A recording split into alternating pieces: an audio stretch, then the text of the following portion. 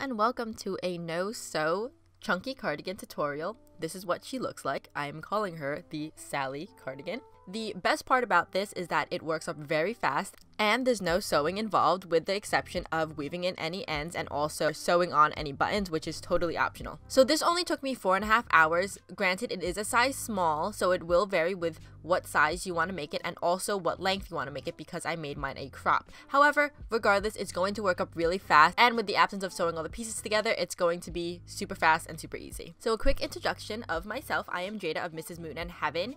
We are a fashion brand and we make a lot of crochet garments and crochet patterns. So this is going to be a pattern that will be available for purchase. It's so if you wanted to look along a PDF file while you do this and also have specific sizes, it will be there and that will be linked in the description. So as I said, the size that I'm making is a size small, but this is made to fit slightly oversized. So I guess it would fit a true medium. So, you know, if you wanted it to fit more true to size, then go down a size. But if you want to have it fit the way that I have it and the way that I designed it, you can follow the sizes listed or you can follow the instructions in this tutorial. So let's get started. So what we're going to need is you're going to need a bulky size 5 yarn. I'm using Loops and Threads Charisma, which is really nice. It's super soft. It's 100% acrylic. I used about four or five skeins of this, and they are 109 yards each skein and 100 grams. You're also going to need an 8 millimeter hook, a 7 millimeter hook, and you're going to need a darning needle, which is big enough to fit some chunky yarn, and some scissors.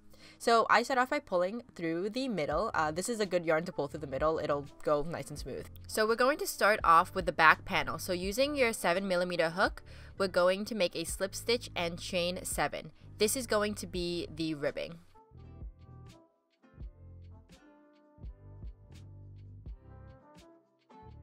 Then in the second chain from the hook, you are going to start single crocheting down the chain. So you should end up with six single crochets in total.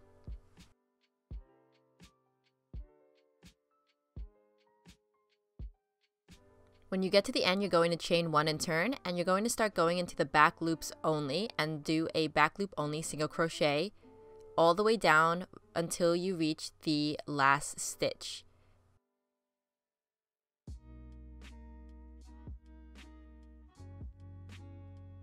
In the very last stitch, you are going to do a regular single crochet through both loops. Chain one and turn, and you are going to repeat this all the way until you get the width of your cardigan.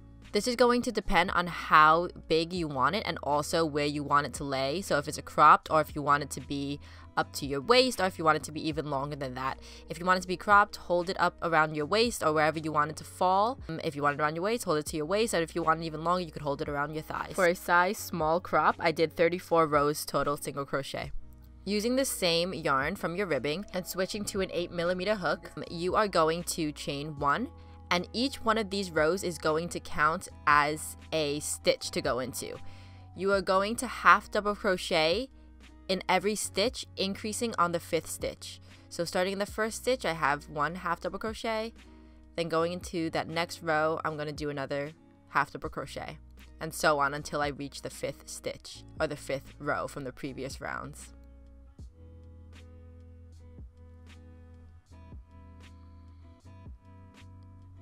And so here on the fifth stitch, I'm going to place two half double crochets. This is going to make the body come out a little bit, just so it gets that nice kind of baggy shape and the ribbing is a little more cinched than the rest of the body. You are going to repeat that all the way down. So one half double crochet in every row or stitch and two half double crochets in every fifth stitch.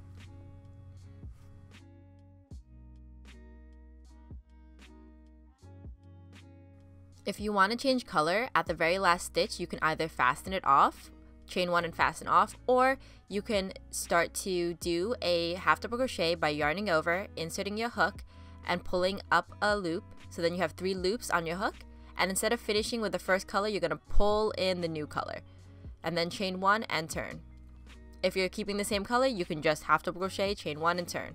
And from here, we are going to do one half double crochet in each stitch with the exception of the first and last stitch in which we're going to increase. So we're going to place two half double crochets in the first stitch. And then in every stitch up until the end, we're going to place one half double crochet. And once you get to the end, the very last stitch, you're going to place two half double crochets. Chain one and turn. And from here, it's the easiest part. You're just going to repeat a half double crochet in every stitch, chain one and turn, and you're going to do that all the way up until you reach your desired length, making sure that it's an odd amount of total rows, including the first row in which we did increases in every fifth stitch. So I did a total of 23 rows. And just for reference, this was my first skein of yarn. So I did about 10 inches of work in terms of length and then about 14 inches wide.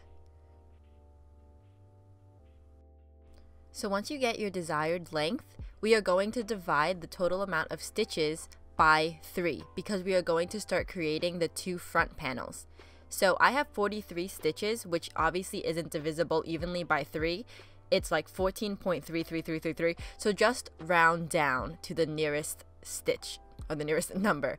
And that's where you're going to place your stitch marker. So I have one on the 14th stitch from both ends. So what we're going to do is we're going to start half double crocheting and we're going to increase down to make a V shape. So you want it to meet in the middle, keeping in mind that we're going to add this ribbing, which is about 2 inches or 4 half double crochets. So divide the total amount of stitches that you ended up with by 2 and subtract 4. And that is how much you are going to increase until on each side. If you didn't end with an even amount of stitches, so you can't divide it by two, that's fine, just round down. So specifically for mine, I started off with 43 stitches divided by 2, that's 21.5, so I round down to 21. So I am going to increase at the middle, I'll, which I'll show you, until I reach 21 stitches for each panel. So begin that row the same as you would any row with a chain 1 and half double crochet in every stitch up until you reach that stitch marker. So I'll have 14 stitches across for mine specifically. Once you reach that point, you're going to chain 1 and turn and in the very first stitch you are going to place an increase. So you're going to place two half double crochets and then you're going to just place one half double crochet in every stitch until the end.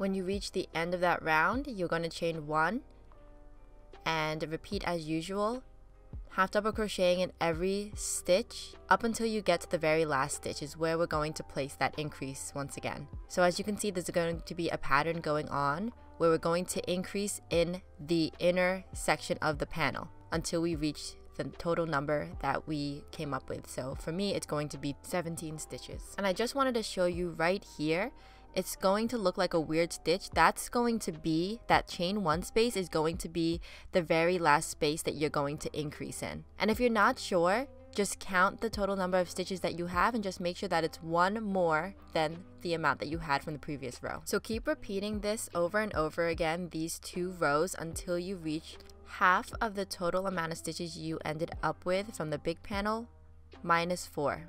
So right now I have the increases completed. And now we just need to half double crochet all the way down until we reach the same amount of rows that we have from the back panel. So I have six rows done right now and I had a total of 23 rows done in the back panel. So I need to do 17 more rows down and just do half double crochets per stitch until you reach the same amount of stitches. So now that we have an equal amount of rows in the front panel as we do in the back panel, we're going to start doing the ribbing, which is going to be an attach as you go method. So start off by changing back to your 7 millimeter hook and chain 7, which is what we started off with when we first did our foundation row for the ribbing. And once you have 7 chains, you're going to go and insert 6 single crochets.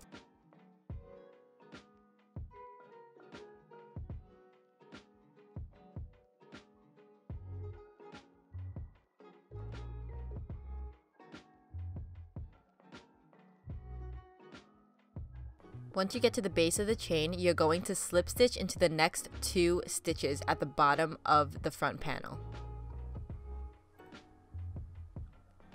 You're not going to chain one and you're just going to turn. And then you are going to go back to the single crochets and back loop only single crochet for five stitches And on the very last stitch, you're going to do a regular single crochet, just like how we did the ribbing in the first place.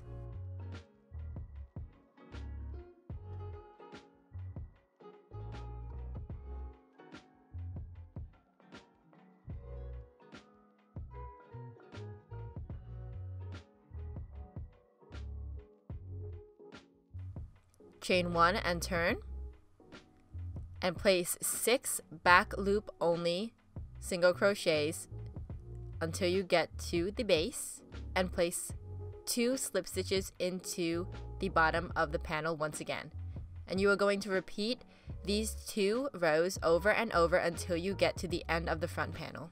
Once you're done with this, try on your garment for now and see where you want to place your arms. I recommend doing it at least 10 rows down so that way the armhole is big enough um, to be around 40 stitches.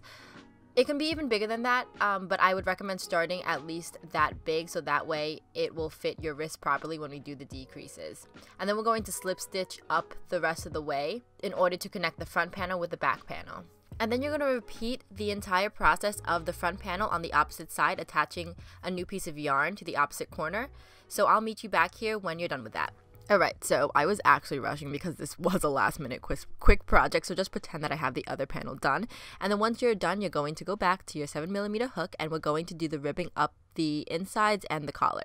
Attach a new piece of yarn to the bottom corner of the ribbing, I like to start on the right side when worn. That's more comfortable for me. If the other side's more comfortable for you, then that's great. Repeat the same process that you did before, chain 7 and single crochet 6 down, and slip stitch twice to connect.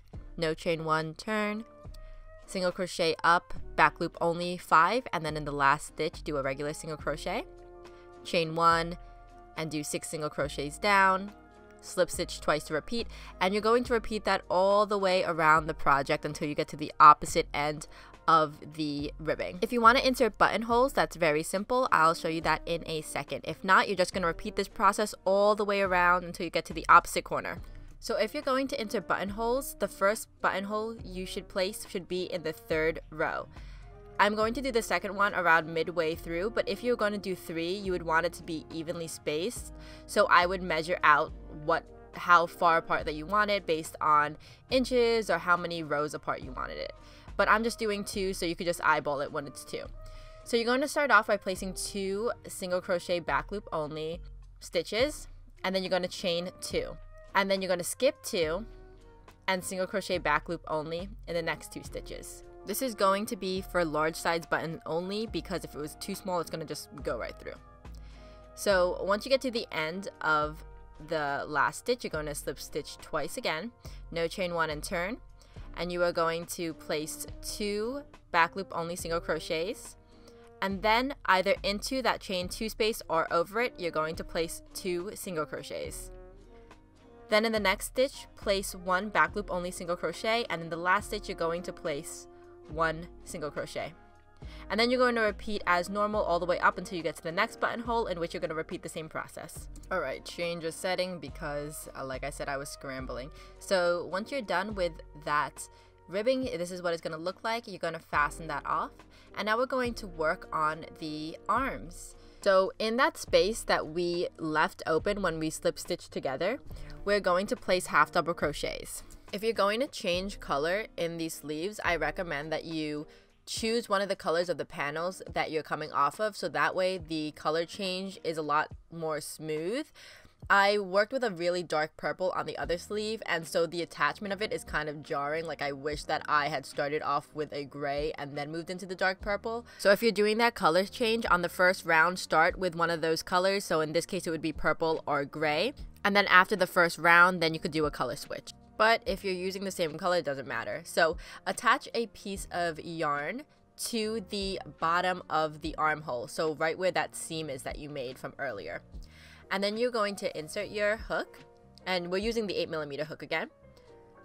And we are going to place half double crochets all the way around, placing about two in each um, half double crochet that you're going around. You can also eyeball it, just make sure that the stitches look nice and even, but you want to place at least 40 within this circle.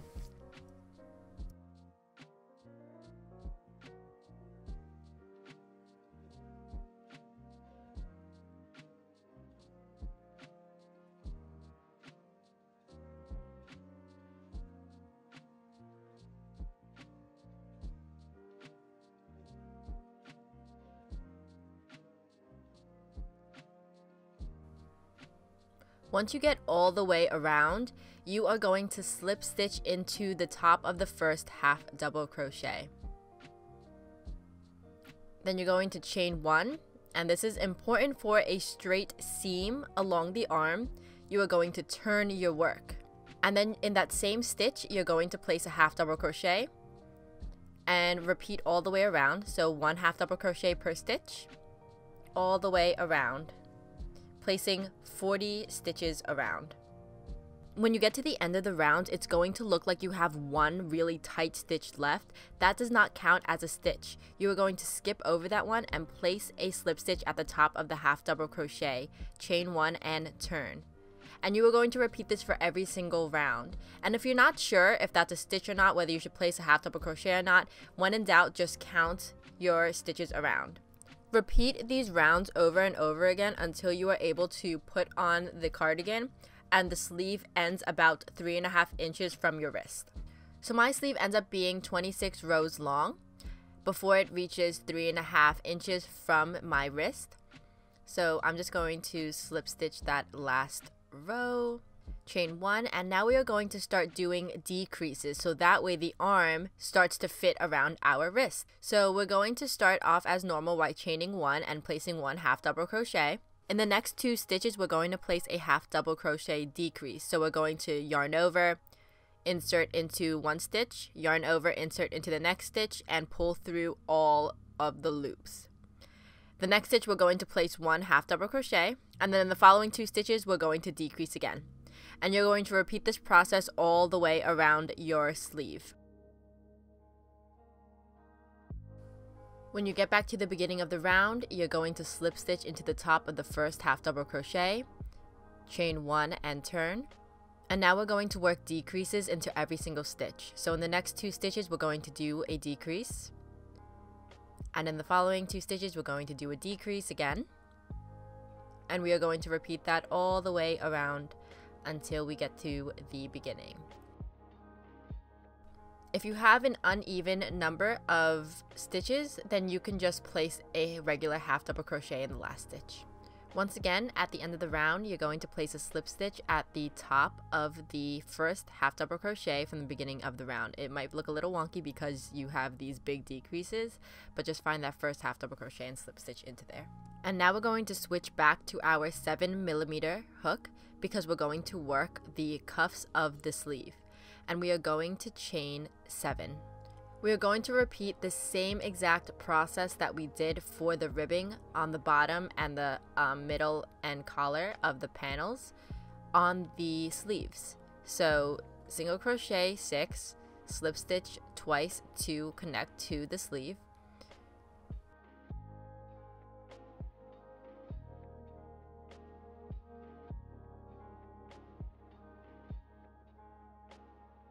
turn and do five single crochet back loop only stitches. And then in the very last stitch you're going to do one regular single crochet.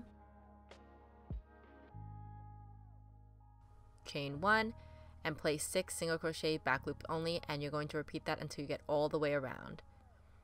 And once you're done with this you're just going to turn your sleeve inside out and slip stitch to connect.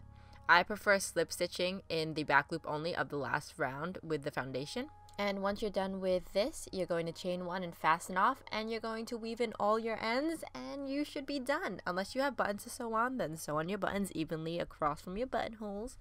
And then yeah, that's it. Your quick and easy no sew chunky cardigan. And look how cute it looks for a short amount of time, not a lot of work, and it's just so cute. And I love her. I hope you all enjoyed this tutorial. Again, if you want to see the pattern, look in the description.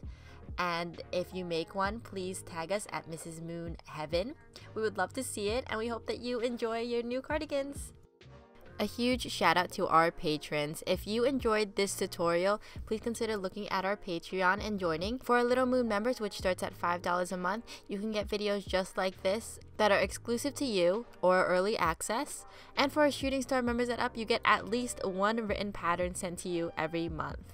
You get other super cool perks like being shown on our videos and also sometimes having patterns named after you, like the Brianna sweater vest. Thank you so, so much for supporting us, whether that's on Patreon or just otherwise anywhere else. You guys are awesome.